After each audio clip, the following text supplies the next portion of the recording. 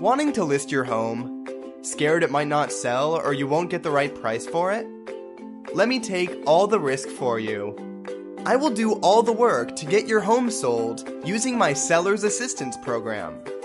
This includes me giving advice on how to do minor improvements on the home to increase the price of the home, putting it on the MLS system so it sells faster, market your home using flyers, its own website, video, and much more, placing the house in front of my investor group to see if one of them wants to buy it.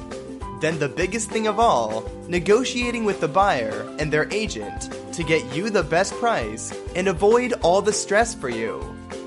Not sold yet? Well, there's more.